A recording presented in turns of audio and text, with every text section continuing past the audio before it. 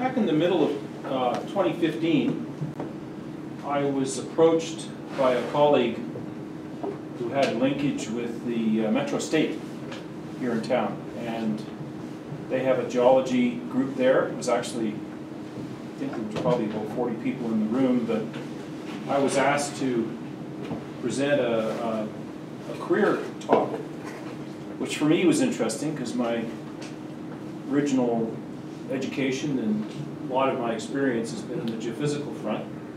So standing in front of a room full of young aspiring geologists was sort of an interesting, uh, not challenge, but it was sort of like, uh, if I'm going to do this right, I probably have to think about it a bit as opposed to being, if I, if I was put in front of a room of geophysicists, I could talk about probably 10 different subjects for half an hour because I've been doing it for 50 years.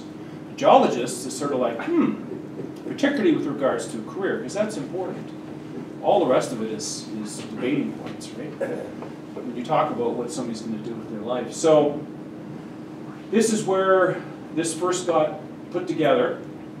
And I thought in 2015 the topic of after the storm was, was a suitable one to try and capture then because there was a lot of sputtering optimism, I guess I would call it, that the industry after the depression of the first half of the decade, we had to be getting better, right? Had to be getting better. Well, we're still waiting. It's still getting better. But so I said, hey, I can keep that slide there. Uh, just gonna. I, I think some of my Canadian friends were cursing me recently because of some storm that came out of Colorado, and I think we had something they called it a hyperbissal or something like this. So it's sort of like, well, may not go on forever, but definitely there's uh, they're not letting up. And so I think, as Sarah touched on, the cycles that our industry naturally has gone through, whether we like it or not, uh, permeate down through right to the individual level. And that's one of the takeaway messages, I think, that when I wanted to convey to these students and to you is that you have to be prepared, as Sarah touched on, is the fact that you are dealing with uh, an unstable uh, business from the point of view of just how, how it works. And it isn't always poor choices on the part of the people running it. Just there's some things that happen that we really can't control. But anyways, we'll start. See what you think. I uh, had I definitely had fun doing this. Um, what I'll first do is talk a bit about what is the business. I'm not going to assume some of the older people here would, would find this redundant. Uh, the information is reasonably up to date, but some of you probably haven't been exposed too much about this and say, who are we? What is, what is actually this as a business entail? And where, of course, do we spend money? Because as Sarah touched on, this is where you may actually have to go to work. Uh, one young man after the Metro talk came up to me and he said, he says, if I said I would go work in a really dangerous place, do you think I could get a job? you know, I just thought that is that is a really interesting, difficult question to be asked. because of course, if you're working for a major, all the alarm bells go off and say, well, you shouldn't be working in places like that. Other guys, other companies would just say, well, hey, use whatever's there. So this is a this this comes out of the S&P uh, stats from they, they pushed them out in January just before the PDAC. So it's re it's relatively recent, and there's this very predictable testosterone game between Australia and Canada as to who's actually spending a bit more. But both both of those countries clearly are the big winners for exploration budgets, over a billion dollars. It's U.S. currency for both of them. Uh, the U.S. isn't far behind. It, it, looks like there's a lot being spent in Russia and China. There probably is, but it's not really part of the Western world sort of spend. So, but it is tabulated because when they're looking at particularly future production, um, a pound of copper coming out of Russia is given as much importance as a pound of copper coming out of Chile. It just uh, doesn't really matter to the world where that comes from. Diamonds are about the only ones that seem to have a flavor of political correctness. Um, I already mentioned about gold. There is a little bit of ambiguity with the terms majors and juniors. Uh, Some people I see like to just leave it at two. Uh, The S and P people seem to embrace also an intermediate. So majors, of course, are like your BHPs, the Rio Tintos, the Vales. Intermediates, there's probably more in the gold space, but it'd be groups like Kinross, IAMGOLD, you know, these are groups that actually have production. Uh, and the money they spend on exploration is probably income that they generate from their own operations. The juniors, on the other hand, tend to be the groups that I really like to think of them as pretty much totally going to the equity markets or private funding. And so they're very much dependent on the whims of investors, uh, sometimes individual investors or groups of investors. So these historically have been our, our major employers for geoscientists. The spend right now, uh, it's a statistic, and there is timelines associated with this, but you can see based on the uh, chart on the left, over half of the budgets are going into late stage or mine site. So if you're looking for employment, there's probably, this is where a lot of the jobs are going to be. You're going to get a job on a, on a uh, drill off on a deposit in Nevada, or you're going to go work in a mine in Ontario, and that's probably better than 50-50 chance that that's where you will see employment.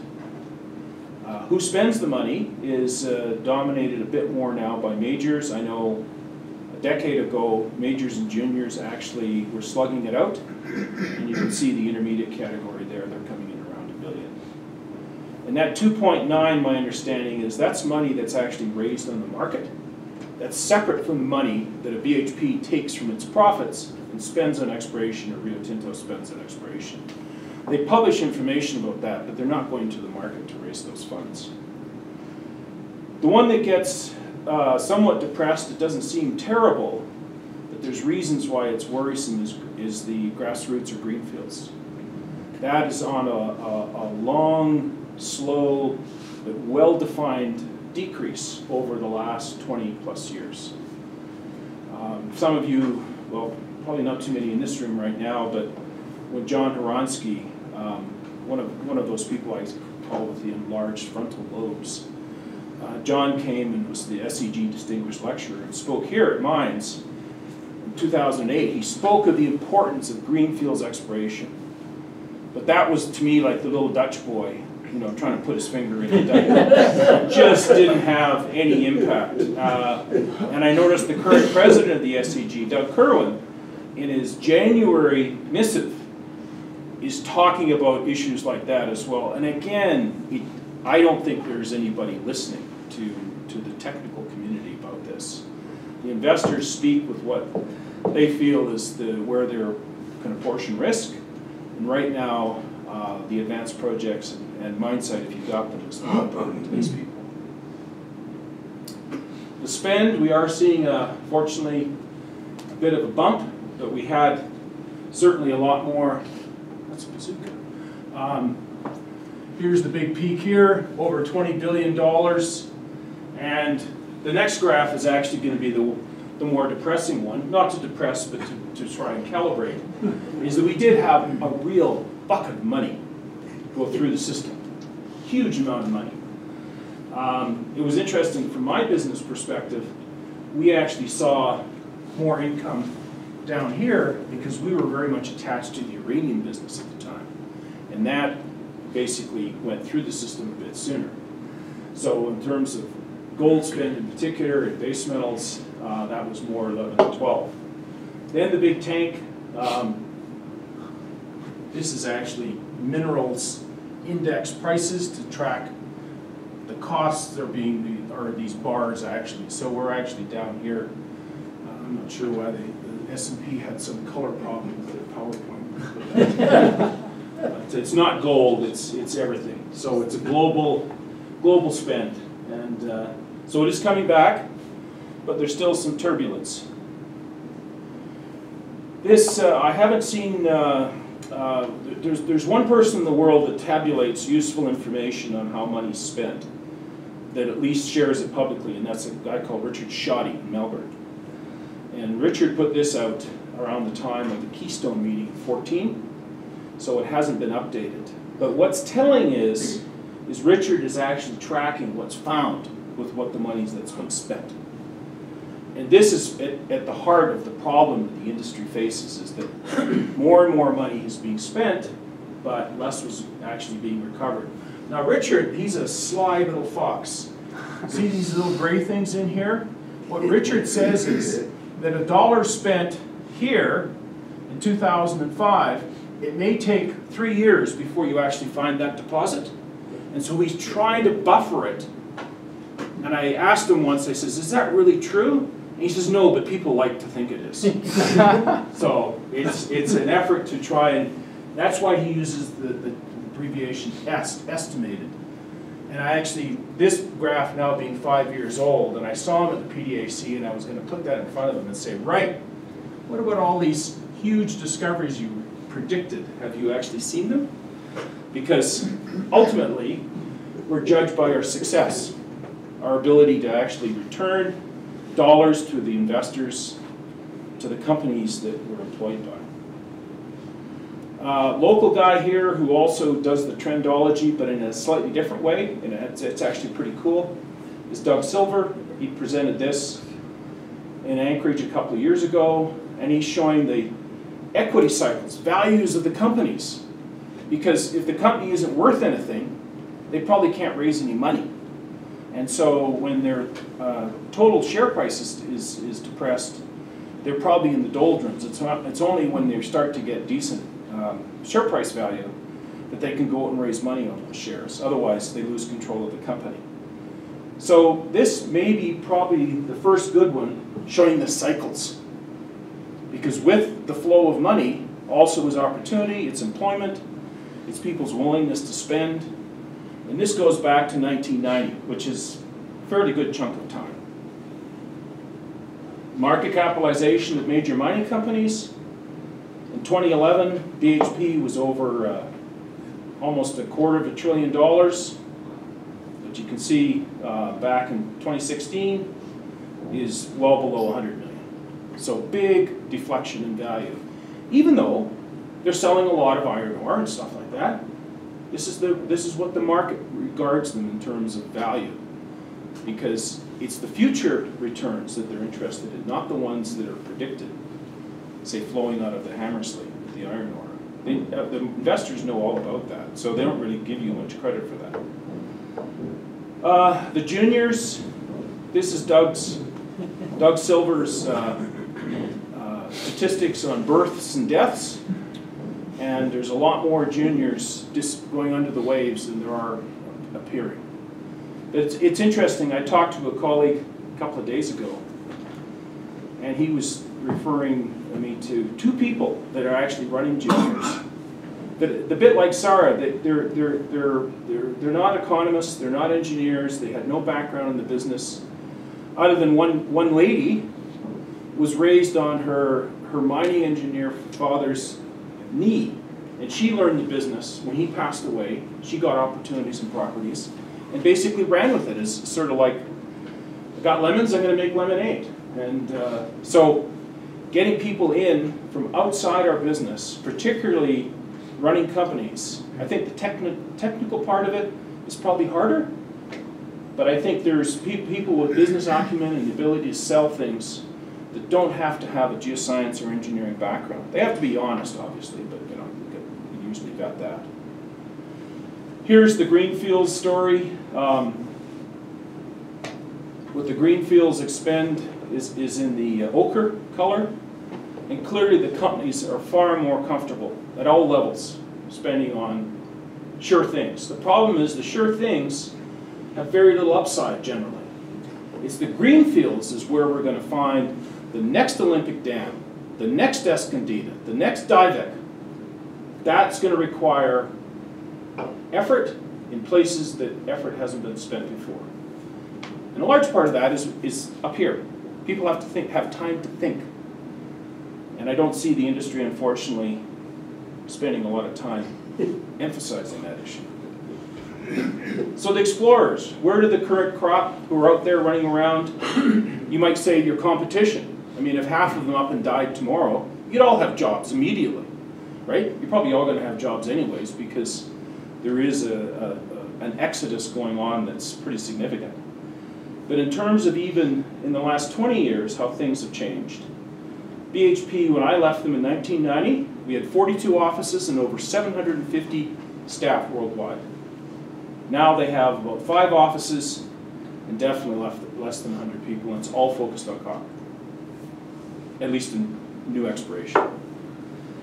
And I've heard of recent that the oil industry is behaving somewhat in this way as well. Even though oil prices are coming back, there's a hesitancy to return to staffing levels and expenditure levels that occurred five before 2014 when oil prices tanked.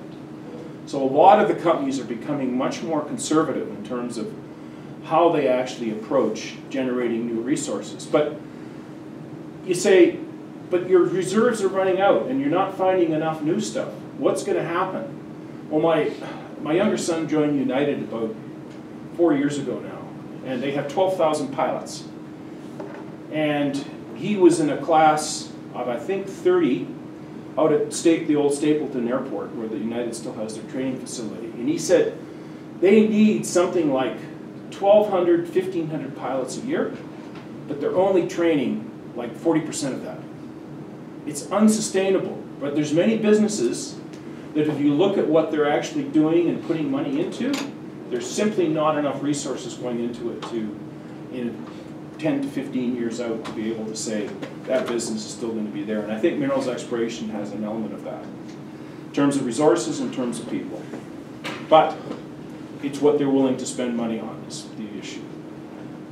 This is a guesstimate. I talked to uh, some people like Murray Hitzman and a few others as to how many people are actually engaged in exploration, minerals exploration, geoscience.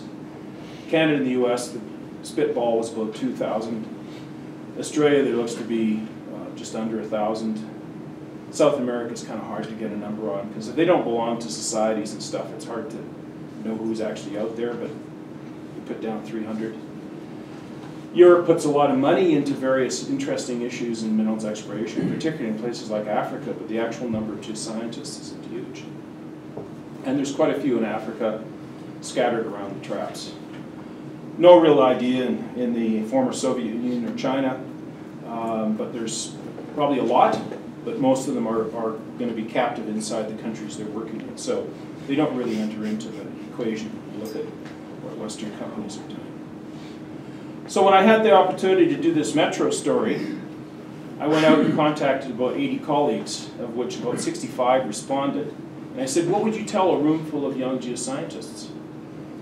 And I'll summarize that here, but I, it was interesting for me because a lot of them were sort of older gentlemen like myself, and I had figured out there's about 2,500 years of experience. And so I said, you may not want to believe me, but I said, there were a lot of people actually went into putting this uh, set of thoughts together. So trust me. Two things I found after I presented that that were very, very valuable. And uh, I had a chance to talk to Hitzman at the uh, Keystone, and he, he agreed, because he said he actually put these in front of his uh, graduate students. But if you haven't seen these uh, articles, you should track them down I can help Zach make them available. They are SEG publications, and they're, those guys are very anal about how they distribute stuff. A lot of things are hard to find.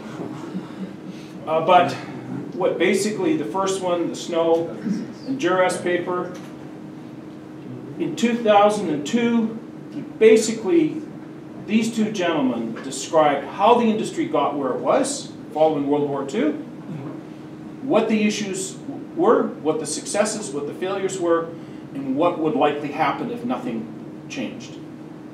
And to a, to a 98% certainty, nothing has changed since 2002. So their predictions are still extremely relevant for what's happening now. So this is, uh, these are things that people like you should be aware of. The other one who took a slightly more uh, individualistic look was Paul Bartos. Um, he went through, got a PhD here at Mines in the 2000s, and he actually came back and presented, I think in 2013, an update. But his 06 paper, that he was the principal author, given at the, the, key, the first Keystone meeting, is excellent. Because it'll describe a lot of what the, the environment is from an pers- individual perspective inside the mining industry. So those are two very, very good references that you, I won't say memorize them, but you should definitely should have a, at least one good read. So what's happening right now? Shortage of talent at all levels due to the exiting of the baby boomers and decline in the number of new graduates in virtually all aspects of the industry. But that's one of the interesting things I found is, is some agencies responsible for the downstream part of the business say, like in Canada, there's a number, you can choose 80 or 100,000. We're gonna need 80 or 100,000 you know, people in 10 years. And I went by some of their booths, like at the Roundup, and I said, well, how many geologists is that? And they say, what's a geologist? it's like, oh, we're not part of your statistics. You don't know what we do. And so it is very difficult to actually know what the number is that we have as would be considered as a target and how much the industry can sustain. Um, I think it's probably larger than is what's going through universities, but I don't really hear much discussion in the learned societies about that as to what the actual number is like. It shouldn't be a secret, it should be something that's actually talked about, but if large employers don't commit to saying they were going to have so many people employed over a certain period of time, you know how many truck drivers they need or autonomous vehicles, mining engineers, metallurgical engineers, and civil engineers that don't seem to deal very well with geoscience. So you, you're in a bit of a quandary there. Um, lack of quality assets. There are quality assets out there, but most of them have got a shaft on them or an open pit and lots of trucks. And they're not really being replaced by the ones that are, are, being, are coming up, unfortunately. Poor long-term financial returns in most projects. Part of this is the industry's incredible ability to shoot itself in the foot. Many times over and over again, many companies. Bad choices. That's why the company I work for, BHP, basically closed the office. I was in San Francisco. We basically made horrendously stupid financial decisions, almost bordering on criminal, almost bordering and uh, it was really amazing to watch. Um, it's like being in the Titanic, the only person with a life preserver. It's like, this is really interesting. Um, enormous global appetite is still there, so the drive, fundamentally, and Doug Silver, everybody flags that as being yes, uh, India will, will at some point get together and the middle class will, will burgeon as they are in China, and this will provide, for the next half century at least, lots of need for new raw materials and employment to go look for. The departure, looking at the individual points, the ba baby boomers leaving is inevitable, and with it a huge amount of experience. I wonder, if I went back to that graph on discovery though, what does that experience actually do for us? Because when we put 20 plus billion dollars through the system, with all of those experienced people guiding those programs, we seem to find less than we ever had. What went wrong? That doesn't get discussed much, and that's one of the things that geophysicists can ask. Because we're numbers people, right? We're physics we don't really believe in, in fate and, uh, and other things like that. We like to see pro underlying process and understand it. So that doesn't get discussed much, and so we have to look at the education of young geoscientists as being critical. And I think listening to Sarah's background is actually pretty awesome because I believe we need more people coming in sideways into our business with different ideas, different backgrounds, different experiences than the classical education system, which hasn't changed much in the 19th century, really, in terms of our business, unfortunately. It may sound harsh, but there has to be something in our education system that needs to be improved. Getting that discussed will be an important thing. Lack of quality assets, Gold is a large part of what we go looking for. Grades have been falling. Uh, costs of production have been going up. So each ounce is, you know, is, is uh, you know, just all this discussion about what's the, what's the Fed going to do? what's the US currency, where's the US currency going? And at the end of the day, if we're dealing with marginal assets, we will focus on living at the edge all the time. We just don't have, unlike iron ore, we don't really have a robust environment. Diamonds, they've turned, and it was predicted by uh, Brian Hole's significant other at a course I attended here 10 years ago. If you can't find them, they're going to start making them, and that's what they're doing. They're making diamonds, and that's become part of that economic story because not enough good quality diamonds are being found. Just apparently they have to tell people that some are made and some aren't. Artificial. They're made by people, so they're not, we say, artificial. Long-term returns. Um, there was a talk at the, I still call them Northwest Miners, but it's the, it's the mob that meets in Spokane and Reno, the AME, and uh, uh, gave a talk in December, pleading, pleading for geoscientists, geologists to know more about economics, for their own protection, as well as the protection of other people. We have to get people listening to like what Brian McKenzie's course used to do for hundreds of people, and then Mike Doggett took it over for a while. Uh, Snow did it here. We've lost the people that actually will help educate geoscientists about the importance of economics. And I don't know why that piece was allowed to slip away, but it's, it, to me, it seems to have vanished. And it's not that it, there aren't textbooks out there, but I think everybody has to pay more attention to how their, how their investors' money is being spent and is a good return, right down to when something's developed. The appetite for resources isn't going to go away, but we do find, like the largest, I think it is, undeveloped gold deposit in the world, Pebble, is still tortured, tortured by issues of access, land access. Is it the right thing to do? Doug Silver, in his talk two years ago, said, it doesn't matter how good Alaska looks on every other basis. He says, the 800 pound gorilla in the room is Pebble. You've got to figure, figure out how to basically deal with it in a way that people believe you're not just hiding the issue. And I'm not sure what I've seen in the last uh, year and a half has actually helped or hindered in that process. But it's being talked about. We'll jump over this one. This is a good plot. Because this, from my perspective, is an important takeaway for you people in the room. Most of the deposits, the significant ones, that your employers your clients will be asking you to look for in the next 20 years are not going to be ones you're going to see in outcrop. They are deeper. The Australians have twigged on this. 80% of Australia is covered. And so the whole Uncover initiative that they have there is about how to develop technologies and thought processes to explore undercover. We really quite haven't grasped that over here. We're still very much in love with the prospector myth. Stand on the outcrop, do the Chuck Fipke, do the Dave Lowell. You will win the day. You will win the day. God bless. You know that just isn't going to happen. And this this was actually updated for Dan Wood's um, Jeff Hedenquist paper that's also in the January newsletter by uh, by Schodde. And see those green big green ones down there? Those are all drilled by oil and gas people. They ran into mineral deposits at depth. We are, they're called the serendipity ones, right?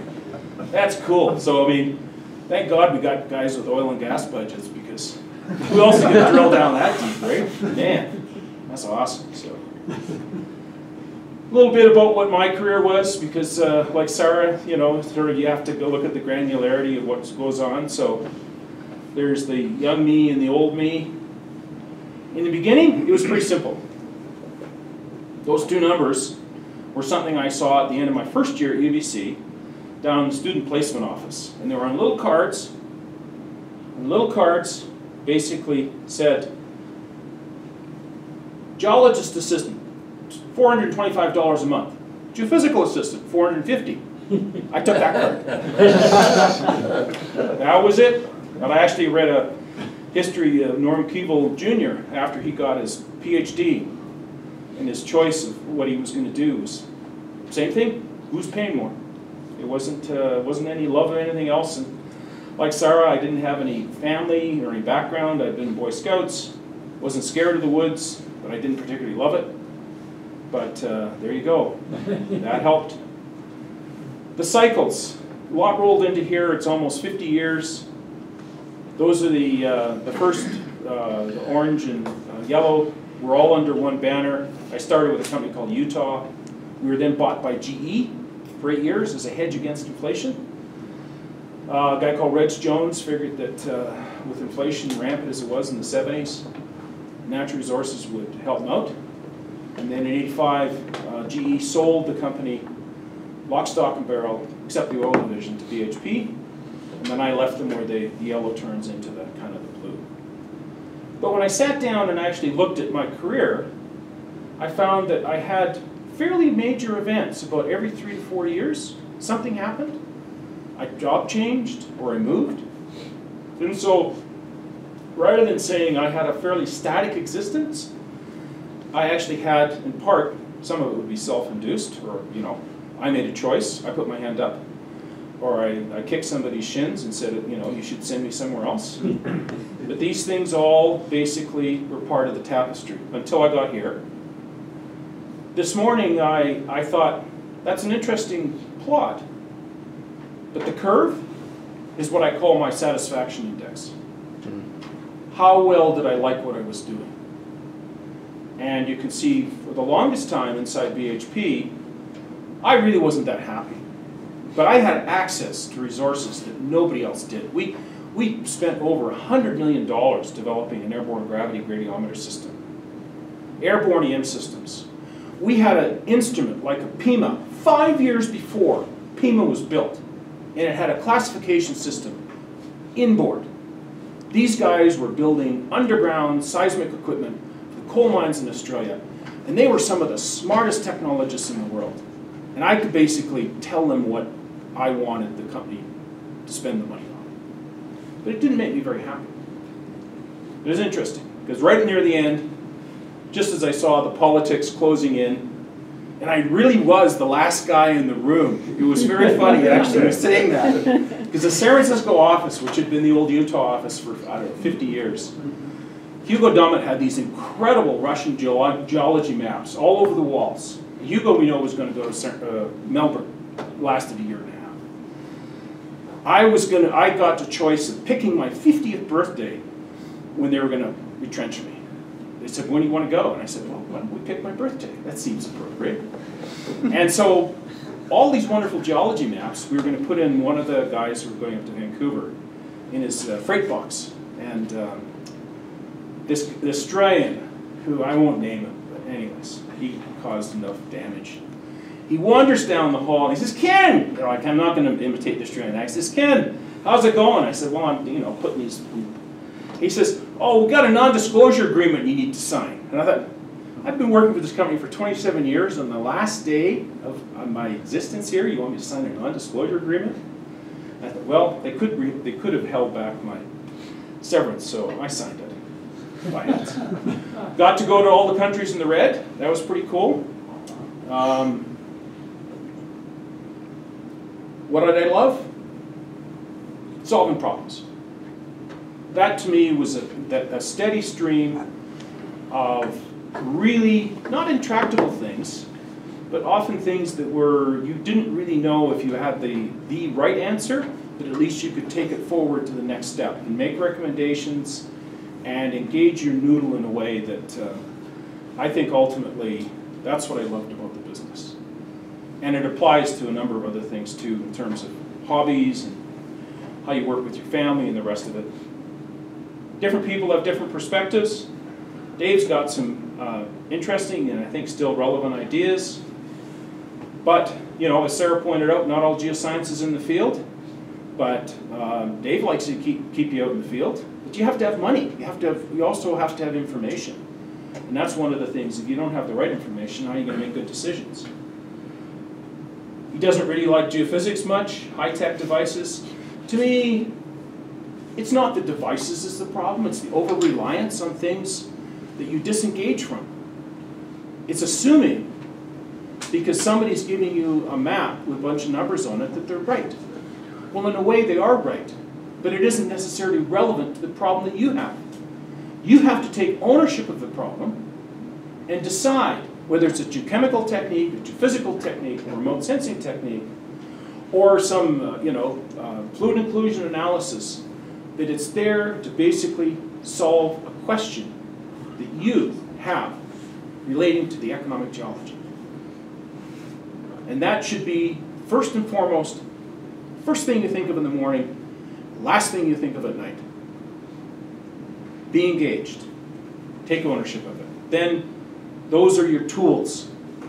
It's just a tool. It's not a prediction. It's not a control. Anyways, Dave's stuff is there. It's great. I think the thing is, be prepared. As Sarah touched on, you know, this three to five year mini careers is important. Uh, I had the benefit of staying inside one company. You sort of, you know, you get the same HR department all the time. Ah, that was really great. Real skinflints. But these days, many more people are basically going to work as independent contractors. You were going to have to have uh, your spouse understanding the situation. You were, I did not communicate to my spouse most of the years I worked. Uh, we're still together, which is amazing. But that to me was one of my biggest regrets, was not hiding things, but not discussing them. And basically letting her know what might happen. I do know that when we got the news that the job in San Francisco was over, it took us less than 10 minutes to figure out what we're going to do. So clearly I had a good relationship with her, we had a good relationship, but you have to work on that, and that's going to be critical going forward. So traditional field work, marketability is important in core logging. You have to have, I think, basic knowledge in that. 3D modeling uh, is emerging, is very important. Uh, but don't be over reliant on things like leapfrog or, or common earth models. You've got to you've got to keep the beast under control. And there are people that, that have an over reliance on technology, and some of them are not the technologists they're the people who use it. Um, more integration. Uh, that's just those are words that we speak, that we often don't translate them into actual action statements. Soft skills. Sarah mentioned the mobility. That's critical. Languages is, is very important. Social community relationships. And it's still a fascinating career. One thing I wanted to touch on, social license and some of the things we do. This is even still a very relevant problem. Uh, you know, Vale is suffering enormously. Lots of money is being spent right now trying to investigate tailings dams. What really ticked me off was when this bozo wrote this letter into the Northern Miner and just basically, hey, it's not whether it's toxic or not, but it covered the earth with shit. this is what goes on CNN, right? Duh. So I mean, having, you know, James, I'm sure is a really good guy. Maybe he's known to some of you in the room. But you missed the point, James. That's not what this is about. We're not managing our social license. We're shredding it. Shredding it. And that, to me, is a problem. Mentoring is important. Still seems to be a real challenge going forward for young people to find mentors that they can effectively use. Some of the baby boomers are not that great using social media. Travel for mentoring can be important. Mini careers, I call it the Geo Uber model, is probably going to be more common. Um, data integration will be a major and challenging issue and opportunity. If you're good at that, visualizing in 3D, you're probably going to do well. Some new stuff coming out the door, it's fun. AI, drilling technology, keeping people in the loop. Uh, I'm not the smartest tool in the shed when it comes to AI. Uh, I see some things that looked interesting. The Goldcorp people and IBM have done some neat stuff at Red Lake, and hopefully we'll hear a bit more about that. But it seems to be at a scale, at the mining scale, where you have enough data to control the beast. If you put it out into greenfields environments, it's still problematic. I think that AI is going to solve the problem of big data. we have to figure that one out with our gray matter before we turn it over to Watson. So, lots of incredible visuals come out of the AI world, but we have to watch where it's going. One neat thing that came out of Australia in the last uh, couple of years, started off actually in Alberta, tube drilling. Uh, this is basically trying to get a meter of drilling down to 50 bucks. Thing is, you give up getting core. It comes out as dust. I call it fairy dust. But the idea is you'll be able to test targets and learn about geology to depths at a cost that we have not been able to do before. Uh, they're looking at deploying this in the near future, a variety of settings. One of the things they will do, that basically the drill bit here is actually an active motor, and so you're not having to push the rods down through the earth. The system is actually pulling itself forward with the bit. Then you can also go in and do multi-parameter logging, along with the analysis you can perform on the, on the cuttings, or the dust that comes out of the, out of the hole. And this is how you will actually build up information. One of the, one of the interesting points in discussing with some of my Australian colleagues is, generally it's the lowest person on the totem pole is at the drill rig, the junior geo. With a scenario like this, they're gonna be seeing the ore body before anybody else, because he'll have real-time analysis. What is that person gonna do? How are you gonna empower them? Does he have a red phone to the chairman of the board saying, we've just hit another Olympic dam? How are you gonna tell the stock market about this information? When you generally have three to four months, you send it all over to ALS and they just, you know, sitting around, you know, doing social media stuff. They don't turn the stuff around, right? The timelines that we used to expect for information are just gonna go like that. You're gonna collapse it down. My, my good friend and colleague Robbie Rowe, who's worked on Uncover, he says, we've tried to talk to the Australian Stock Exchange, they can't absorb it. They have no concept of what to do with information that comes in that quickly. Interesting. So, if you can think of a good way to put yourself in that nexus, you could be, have a freaking mining equivalent of a unicorn startup company. Because lots of people are gonna have this problem, don't know what to do about it, but they wanna maintain control. How are they gonna do that? Keep people in the loop, very, very important. Have to have time for discussion, have to have time to kick back. Actually, Dan Wood, it was funny, some of you might have read his, his paper in January. It's fairly basic, but he covered a bunch of things. And I said, Dan, you know, one of the things that really bothers me is we don't talk enough about how much time it takes to actually think things through. And he says, when I was general manager at, at uh, Newcrest, he said, I told my people they had to spend 20% of their time not doing anything. Feet on the desk.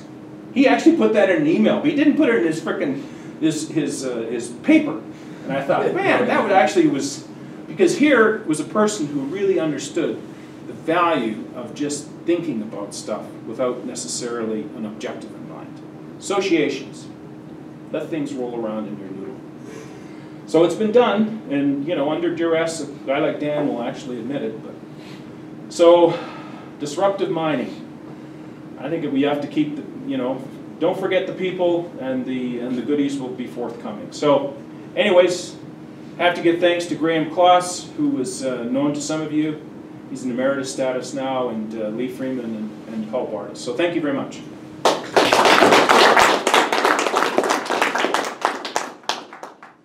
have a few comments. Yes. Number one, this long-term trend that everybody talks about is being driven by two principal things, or three things actually. One of them is the environmental movement in the United States and elsewhere. Uh, When I got into the business, there were about 30 US companies, it's down to five. And a lot of that is that you, you can't explore, or you actually can't develop a mine, a mineral deposit in most of the states today and it's sort of doing that in Canada as well. The next thing is uh, the reality of developing, trying to put major amounts of money into a country like Indonesia, where they've just gone back to uh, and others and said, gee, we'd really like to have fifty-two percent of your mineral deposit. Guess what? So who the hell's gonna invest money in a place like that? They did that in Mexico beginning in the sixties, and they had zero exploration there for about forty years. The next thing is, uh, because I've been involved in sort of going back and forth between exploration, mineral development, and working in operating mines, is that uh, over the last many years, the equipment has gotten much bigger, gotten more efficient, fewer people, more computers, better mills, and so the head grades can go down, people can make the same amount of money. And the third thing is when, I, I worked for Danny Wood, and number one, he never told anybody to put their feet up and spend twenty percent of their time. He's full of shit if he's saying that, I'll tell you that. It was the Australians that got to do it. No, they didn't do it either, because I worked there too. Um, the next thing is that, uh, when you start exploring deep targets and trying to mine them, just look at what's happening in Resolution. They're gonna have to mine that thing, nobody knows how they're gonna do it because the temperatures are so high. So there's a real problem doing that. So people are sticking to the surface, they're sticking to mines that they know about, because number one, they're permitted. That's the big issue, all over the world is getting something permitted. They're sticking to countries where you can actually mine the thing in perpetuity, where you can invest a buck and not have some idiot government type say thank you and grab it. Uh, And so those are the factors driving it, really. And that's, that isn't gonna go away, it isn't gonna change, Yeah, it's just a fact. Yeah, well, I mean, one of, None of those things are gonna, they're only I gonna get worse. gov- governments control a lot of the agro that you're talking about. And it's certainly in their best interest not to have large hiatuses, you know, in, in, in cash flows and the rest of it. So if, if they're, but often, you know, if we stick with the, with the safe, the industry, the governments really aren't being pushed hard enough, I think, to resolve some of these issues. Because you end up, uh, um, you know, the governments will, it's a squeaky wheel story. If, if you stop bugging them, they're gonna go focus on something else. And, and right now, one of the things that's, that's popping up is pre-competitive data, which of course is, the idea is that that, that too is changing around the world. I mean, industry has been generating massive amounts of geoscience, uh, starting after World War II and. Let me ask you a question. Yeah, Would you invest three hundred thousand bucks of your own money in Russia going after a mineral deposit? Kinross is, is making money. On Would Kupol? you personally do it? Uh, well, I guess I'd scale it with, I'd invest thirty thousand because I think I have, I could afford thirty thousand. Uh, three hundred thousand would have to be, you'd scale it That's to, it, but that's what companies do. They're, they're, when you go to someplace like that, you're betting red twenty-three. That's what it is. yeah, well, I mean, the idea is you get a partner that basically helps you de-risk it, right? There's things, there's things you can do to feel that you're, you're sharing the risk. You know, who, otherwise you're exposing yourself to the enormity of the Kremlin with your three hundred thousand, which doesn't really count for much. So- the Congo. Well, that's interesting, that's interesting, because now Barrick is, is, uh, is, is working with um, the government to promote gold. And I was reading, uh, somebody else is exiting because of the taxes on copper. So that to me is a mixed message story, if I understand it right. So the government clearly has different sets of consultants, one on gold and one on copper, seemingly, that are, are sending uh, not a consistent message to natural resource development, which ultimately, people will keep going back because the grades are so good, right? I mean, that to me, that's the bottom line in, in the Congo, is just that when you've got two and a half percent cobalt or copper with cobalt credits, it's very difficult not to be a player in that. The objective is to make money. Exactly. Ahead of your competitors, because that's limited opportunities. Where else do you go for something like that? So, yeah. Well, I think, you know, what, some of the things you're talking about, this is where the soft skills part of it, uh, how to actually negotiate with whoever else is part of it, the stakeholders in the system, is something which the industry, you, you either go away in the corner and, and not negotiate, or you try and find people that actually are maybe doing a better job than you have historically, uh, and just accept the fact that the playing field has changed, um, so we have to change. Is that, is there not an element of sensibility to that? Um, I mean, At for the end of du- the day, you have to make money, you have to. Yeah, yeah, some sure, rate of yeah. return on what you- Ken, yeah, uh, what do you think of the rest of the periodic table in terms of uh, materials that are needed for uh, all the other things that are going on now? Lithium, of course, is a prime Yeah. example, but there's a whole spectrum of other materials that are needed for what's going on now and for what's coming. What do you see happening now and what do you see happening in the future? Is it going to be significant? Well, I mean, a, a, friend and colleague of mine, he's got a job with Fortescue now, but for a while he was developing a lithium story in Nevada. Seemed to have, there, he was beside one producing operation. And it was interesting listening to him, uh, you know, Pat Heisman, He gave us a good talk at DREGS. And it really wasn't about discovery, right? It's about where you are and what the, what the, making money, how to basically extract product out in a shorter timeline and a lower cost than your competitors. Because there was no absence of lithium anywhere. The world in a way was awash of it. Uh, Some of it, you know, quite high grade, but then maybe with metallurgical issues. And I think that was the thing that Pat was emphasizing for his particular story was that they had a more efficient processing technique that could get the lithium out faster and cheaper with less contaminants than, say, somebody else. And, and that was what they were trying to raise their money on. He still wasn't successful. In the end, it, it, uh, it, it tanked. So that to me, there's a lot of other elements out there that it's not technically a shortage of them or they don't have to be discovered. But you do have to find out an economic way to extract them, minimize the deleterious footprint part of it, and uh, um, make, make the buck that you're talking about. So we could, we can, we're, we can be good at that, as long as the rules don't keep changing. That's the problem. Yeah, yeah, I mean, right. So what do you need to get compliance, you know, greater awareness? I mean, I think historically, we have an enormous awareness in the communities where mining is actually takes place. But you move away from those communities, you move into urban environments where the bulk of the voters are and the people that, you know, will elect the officials that determine policy. And there's like, they just don't grasp what, you know, and it, it used to be the trite one, if you can't, you know, if you can't mine it, you have to grow it, you have to mine it. It's sort of like, yeah, it's true, but average Joe in, in suburbia doesn't have a mental model of that. And wh- who, who's supposed to do that? Who's supposed to educate them? How do you actually get that buy-in with society? It's a different, it's not the mining engineers. I don't think you want them going door to door. God help us. That'd be like, go But Ken, across 2,500 years, it's never been easy, right?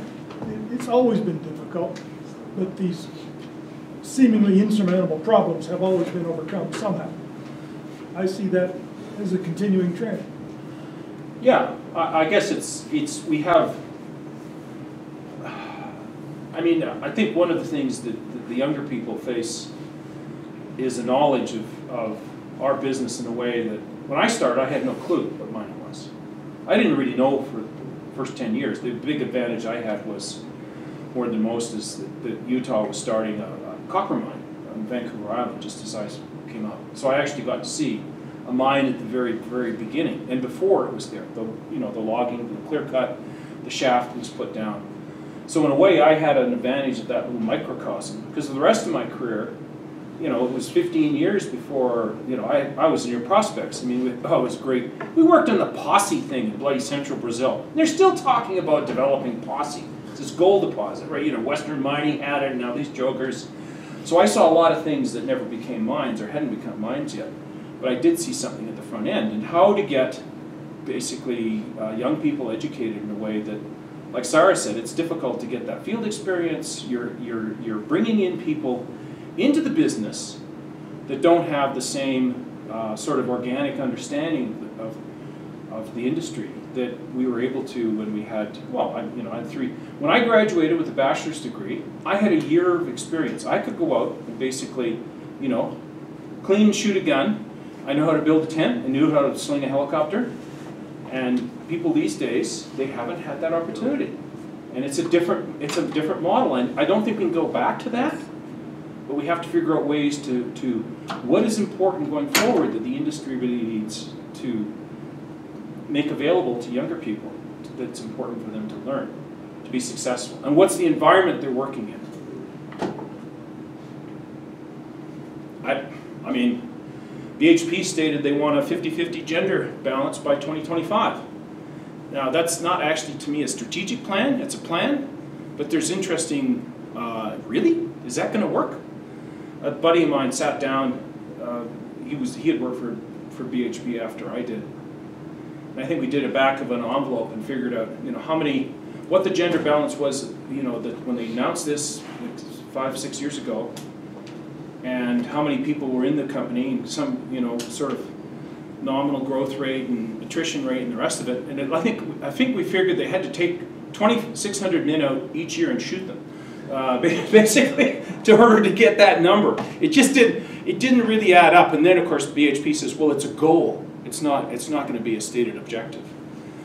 But I mean, that, that's dealing with part of the future, but it doesn't, to me, say, what are those people going to be doing? What are the educational requirements? What is the knowledge base that they're going to have to draw from to be successful in that, in that company? Um, I don't know. Good questions. They should be, at, they should be talked about more, I think, rather than just Dave Lowell telling us mines are not found in the office. I don't know.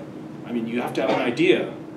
Some of the best ideas are in the most uh, inappropriate places sometimes, you know.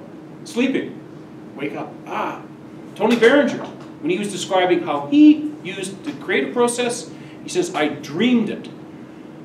Tesla did the same thing, apparently. Tesla could dream details down to a patent definition. And you woke up and you could draw that patent. So, you know, accept diversity. We need more of it. So, anyways.